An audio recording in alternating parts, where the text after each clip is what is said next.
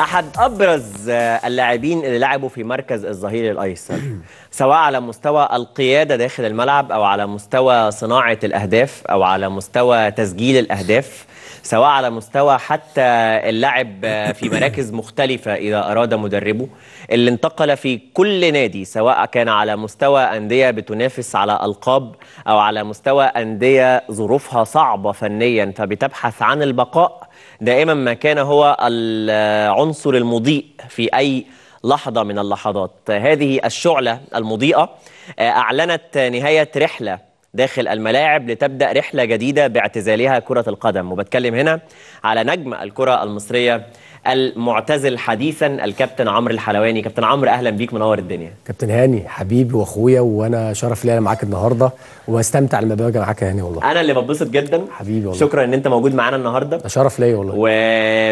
ورحله بجد تستحق عليها كل التحية. ويكفي رد الفعل اللي شفناه حتى مش بس في الاستاد في ماتش الأهلي وأسوان قبل المباراة من الجمهورين لكن كمان على مواقع التواصل الاجتماعي اللي حيت مسيرة لاعب شافت قد إيه كان متألق في الملاعب. آه الأول أنا يعني مبسوط جدا من الفيدباك بتاع الجمهور. بصراحة أنا يعني اللي فرحني يا هاني اللي أنا اللي حاسس ان الناس كلها شافت اللي أنا اشتغلت سنين كتيرة. م. يعني أنا ما كنتش متخيل اللي أنا بعد ما بطل كده ويبقى الناس كلها الحمد لله بتتكلم عليا كويس م. وبيبرزوا أهم صفات فيا وبيكتبوا كلام جميل. بصراحة كل ما باجي أقرأ الكلام ده ببقى مبسوط جدا بحس إن الناس شايفاني بحس إن الناس اللي هو أنت كل ما بتت... كل ما بتتعب كل ما بتلاقي م. يعني الناس بتتكلم عليك كويس. فبصراحة أنا مبسوط جدا من ال... من الفيدباك ده. وإن شاء الله الواحد يكمل بقى بعد ما يبطل كورة يكمل بنفس ال... ال... السيرة دي ونفس الخطط دي. تعال نبدأ من الآخر.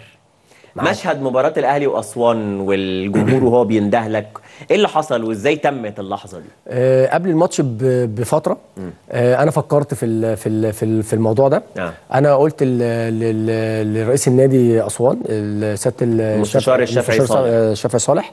وسيادة عضو مجلس إدارة إيهاب منصور. الراجل ده قمة من الاحترام. كلمتهم من فترة قلت لهم أنا عايز أعمل يعني تكرموني في ماتش أسوان والأهلي. م. فاخترت أسوان عشان خاطر أنا عملت موسم استثنائي السنة اللي فاتت والحمد لله الجمهور وشه حلو عليا والجمهور أنا بحبه على المستوى الشخصي جدا والنادي الأهلي ده بيتي.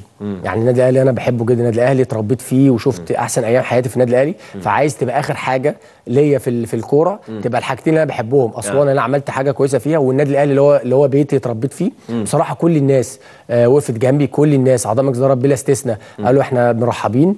كلمت كابتن حفيظ قبل الماتش بيومين عشان أبلغه عشان يبقى عارف. آه والله يا كابتن هاني قال لي أنت عايز إيه؟ أعمله لك. آه. حفيظ قلت له ولا حاجة يا كابتن عايزك تبقى موجود. قال لي أنت إحنا مطلوب مننا إيه نعمله لك؟ آه. أنت ابن النادي الأهلي وإحنا بنحبك وأنت لعيب مميز. شوف اللي أنت نفسك فيه إحنا تحت أمرك يعني. قلت له ولا حاجة يا كابتن. أنا عايزك تبقى موجود في اليوم ده. آه. عايز اكرم تكريم كويس بصراحة نزلت الملعب لقيت الجمهور أسوان بيندع عليا مرة واثنين وثلاثة آه. أنا بصراحة يعني يعني كنت مبسوط آه. حاسس اللي هو إيه شريط حياتي بتاع الكورة كله طبعا. في التوقيت ده طبعا. اللي هو أنت بتلعب كورة آه. عشان الجمهور عشان يستمتع لما يبقى الجمهور بيحبك دي حاجة كبيرة جدا يعني مم.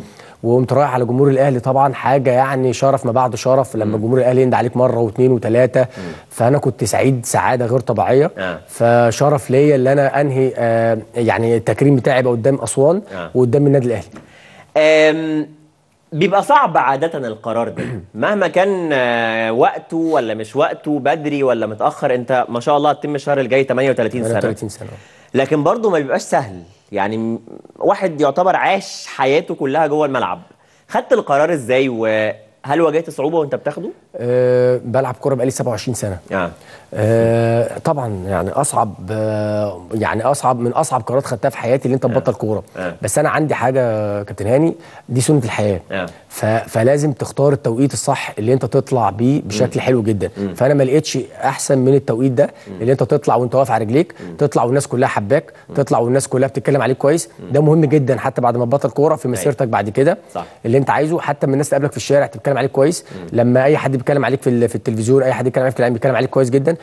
فاختيار التوقيت ده كان مهم جدا جدا بالنسبة لي. فأنا شفت اللي ده أحسن اختيار ليا في التوقيت ده. طبعا اختيار صعب جدا بس هي دي سنة الحياة. آه. ولازم آه تختار لعيب الكورة اللي عنده شخصية لازم يختار آه قرارات صعبة في توقيت آه في توقيت صعب. صح. فده حصل بالفعل. فالحمد لله يعني ربنا وفقني في الاختيار يعني. حلو جدا إن نهايات المسيرة رغم إن هي مثلا كانت في أسوان فريق مش منتظر منه حاجة أنت لمعت في أسوان.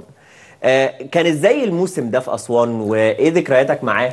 بالنظر لما شاء الله عدد الأسيستات اللي اتعملت والأجوال كانت رائعة يعني. عايز أقول لك آه، هاني وأنا رايح أسوان يعني عارف اللي هو إيه يعني كنت رايح اللي هو يعني تحدي جديد وساعتها كابتن آه، كان ساعتها ماسك معانا علاء؟ لا ما كانش كابتن علاء كان كابتن سامي الشيشيني آه. قعدت مع كابتن سامي الشيشيني قال لي بص يا عمرو ده تحدي جديد بالنسبة لك. آه اثبت نفسك أنت لعيب مميز أنت لعيب كبير. آه عايزينك السنة دي معانا ت- ت- يعني تعمل يبقى في فارق. وهنلعب في القاهرة آه. وهنلعب في استاد بترو سبورت اللي هو الاستاد بتاعك تمام. فالعب وابدع وما تشيلش هم وإحنا في ظهرك يعني آه. بصراحة كابتن سامي الشيشيني بصراحة وقف جنبي في الحتة دي وأنا رحت قبل الدوري ب 10 أيام آه الحمد لله كان أول ماتش قدامنا تقريبا قدام إنبي آه كسبنا فريقك اللي أنت لسه ماشي منه. بعد آه طبعا. سنين. آه طبعا طبعا آه. آه. آه كسبنا 1-0 وأنا اللي عملت الجون. آه. بعديها بثلاث أيام بالظبط كان عندنا برضو ماتش مع الجيش. آه كسبنا 2-1 وأنا عملت الجونين. آه. فبدأ كده الموضوع يعني الموضوع يكون أول دوري ساعتها 6 point. آه. فبدأ الموضوع الناس تاخد بالها بقى. أيوة. اللي لا عمرو حلواني في ماتشين عمل ثلاثة assist آه. وبدأ الناس تركز معاه. فبدأنا نمشي بقى واحدة واحدة وأنا خدتها تحدي. اللي أنا السنة دي هعمل موسم استثنائي. والجمهور طبعا بتاع أسوان وقف جنبنا جدا جدا وقف جنبي أنا بصفة شخصية. كنت مبسوط جدا. كنت عايز أعمل حاجة للبلد دي. فبصراحة كان في توفيق غير طبيعي. ودايما. كان يقول لك اللي يروح يلعب في أسوان أسوان وشها حلو على على آه. اللعيبة. وهي كانت فعلا والمدربين. لا وشها حلو جدا جدا جدا.